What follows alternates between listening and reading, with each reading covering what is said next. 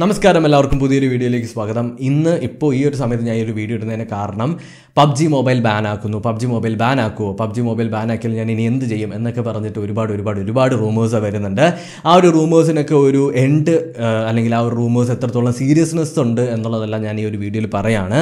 വേറെ ഒന്നുമല്ല ഞാൻ എട്ട് മണിക്ക് ഒരു ലൈവ് സ്ട്രീം വന്നിട്ടുണ്ടായിരുന്നു. അതിനകത്ത് ഞാൻ കുറേ കാര്യങ്ങൾ ഷെയർ ചെയ്തിട്ടുണ്ടായിരുന്നു. പക്ഷേ അതിൽ നിന്ന് കുറച്ചുകൂടി സീരിയസ് ആയിട്ടുള്ള കുറേ ഇഷ്യൂസ് ഇതിന്റെ പുറകിലുണ്ട് എന്ന് എനിക്ക് മനസ്സിലാക്കിയതുകൊണ്ടാണ് ഞാൻ ഇപ്പോൾ ഒരു വീഡിയോ ഇടുന്നത്. നോർമലി ഞാൻ ഇങ്ങനത്തെ റൂമേഴ്സ് ടോപ്പിക്കൊന്നും വീഡിയോ ഇടാത്തതാണ്. പക്ഷേ ഇത് വളരെ വളരെ വളരെ ഇമ്പോർട്ടന്റ് ആയതുകൊണ്ടാണ് ഇടുന്നത്. വേറൊന്നുമല്ല പബ്ജി മൊബൈൽ കൊണ്ട് ഒരുപാട് പേര് ജീവിക്കുന്നുണ്ട്. പബ്ജി മൊബൈൽ ലൈവ് സ്ട്രീമിലൂടെ അല്ലെങ്കിൽ പബ്ജി മൊബൈലിന്റെ വീഡിയോസ് ഇട്ടിട്ട് ജീവിക്കുന്നുണ്ട്. ഒരുപാട് പേരുടെ ഒരു ലൈഫ് എന്ന് വേണമെങ്കിൽ തന്നെ പറയാം പബ്ജി മൊബൈൽ ബേസിക്കലി ഞാനൊരു പബ്ജി മൊബൈൽ സ്ട്രീമർ അല്ല പബ്ജി പി സി സ്ട്രീമറാണ് അപ്പോൾ ഈ പി സിയുടെ കാര്യം പറയുന്ന സമയത്ത് ആദ്യം ഇറങ്ങിയത് പ്ലെയർ അൺനോൺ ബാറ്റിൽ ഗ്രൗണ്ട് എന്ന് പറഞ്ഞിട്ടുള്ള ഒരു പി സി ഗെയിമാണ് അതിനുശേഷമാണ് രണ്ടായിരത്തി പതിനെട്ടിൽ ഒരു മൊബൈൽ ഗെയിം പബ്ജി മൊബൈൽ എന്ന മൊബൈൽ ഗെയിം ഇറങ്ങിയത്. അപ്പോൾ രണ്ടായിരത്തി പതിനേഴിൽ ഈ പബ്ജിനെ ചൈനീസ് ഗവൺമെന്റ് അതായത് ഈ പബ്ജി പി സിനെ ചൈനീസ് ഗവൺമെന്റ് ബാൻ ചെയ്യാനായിട്ട് ഒരുങ്ങിയതാണ്. പിന്നീട് ചൈനീസ് ഗവൺമെന്റ് തന്നെ ഈ ഒരു കമ്പനിക്ക് അതറൈസേഷൻ കൊടുക്കുകയാണ് ചെയ്തത്.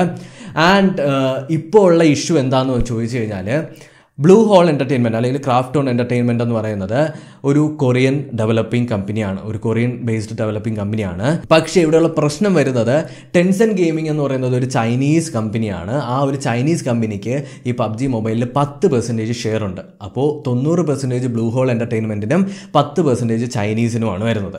അപ്പോൾ ഈ ചൈനീസ് ബ്രാൻഡിന് അല്ലെങ്കിൽ ചൈനീസ് കമ്പനിക്ക് ഇതിനകത്ത് പത്ത് പെർസെന്റേജ് സ്റ്റേക്ക് ഹോൾഡ് ഉള്ളതുകൊണ്ട് തന്നെ ഇതിനകത്ത് കാര്യങ്ങൾ കുറച്ച് സീരിയസ് ആവുകയാണ് വേറൊന്നുമല്ല രണ്ടായിരത്തി പതിനേഴിൽ ഇറങ്ങിയ ചൈനയുടെ നാഷണൽ ഇന്റലിജൻസ് ലോ പ്രകാരം ചൈനീസ് ബേസ്ഡ് ആയിട്ടുള്ള കമ്പനികളോ ചൈനയുടെ അണ്ടറിൽ വരുന്ന കമ്പനികളോ എല്ലാം ചൈനീസ് ഗവൺമെന്റിന്റെ ഓണർഷിപ്പിലാണ് വരുന്നത് എന്നുള്ളൊരു ലോ പുറത്തിറങ്ങിയിട്ടുണ്ടായിരുന്നു.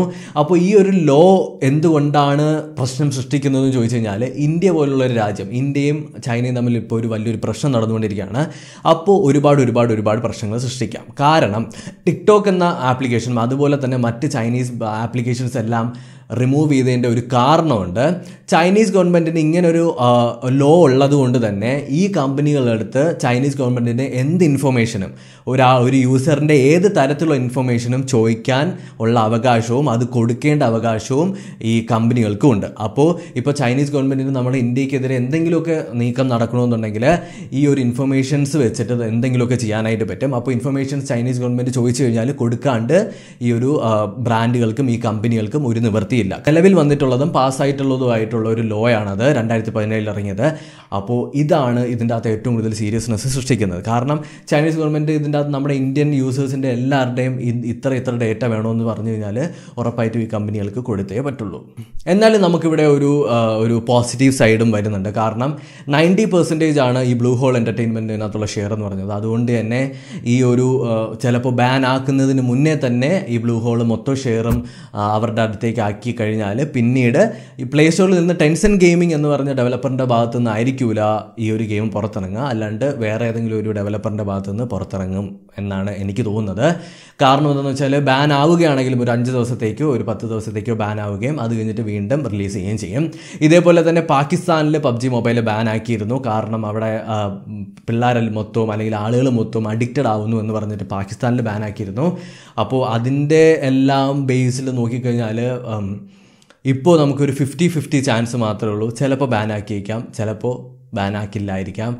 ഞാനൊന്ന് അനലൈസ് ചെയ്ത സമയത്ത് എനിക്ക് മനസ്സിലായത് ബാൻ ആക്കാൻ ചാൻസ് ഉണ്ട്. പക്ഷേ ബാനായി ടെമ്പറ പെർമനന്റ്ലി ബാനായി പോകത്തൊന്നുമില്ല. അതുപോലെ തന്നെ ഒരു രണ്ടോ മൂന്നോ ദിവസം കഴിഞ്ഞ് തിരിച്ചു വരാനായിട്ടുള്ള ചാൻസ് ഉണ്ട്.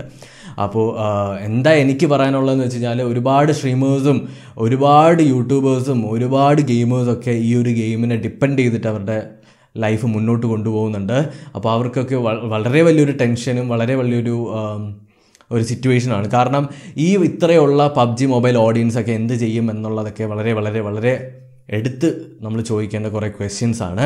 അപ്പോൾ ഇതിനെക്കുറിച്ചിട്ട് ഈ ഒരു ഇൻഫർമേഷൻ കറക്റ്റായിട്ട് എക്സാക്റ്റ് ആയിട്ട് നിങ്ങൾ അവിടെ പോയി സേഫ് പബ്ജി സേഫ് പബ്ജി എന്നൊക്കെ പറയുന്ന സമയത്ത് അതിന്റെ പുറകിലുള്ള റീസൺ നിങ്ങൾ അറിയണമെന്ന് തോന്നി. അതുകൊണ്ടാണ് ഈ ഒരു വീഡിയോ ഞാൻ ഇട്ടത്.